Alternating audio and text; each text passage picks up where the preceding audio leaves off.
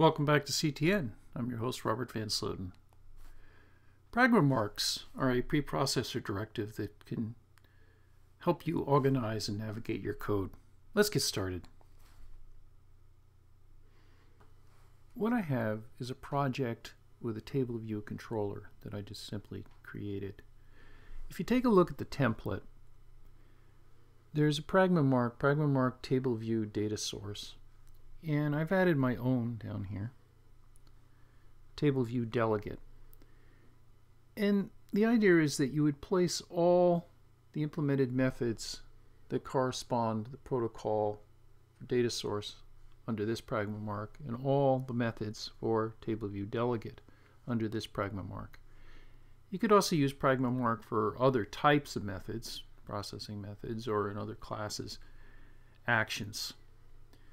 Now if you take a look in preferences for Xcode and you select the key bindings tab, if you scroll down you'll find control 6 and that's show document items.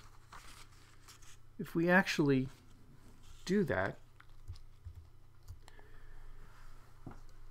what happens is you'll notice that the methods are organized by the pragma mark. In other words, the methods, the one method under table view delegate and two methods under table view data source. It's a way of organizing your code to make it easier to navigate. And it can be very useful if there's a large amount of methods in source code. There's other things you can do with Pragma. Uh, for example, you can tell it to suppress warning messages, which I wouldn't recommend. I tend to believe that you should write your code to eliminate warnings rather than suppressing warnings. That's it for now. Check out the website, cocoatouchnetcast.com.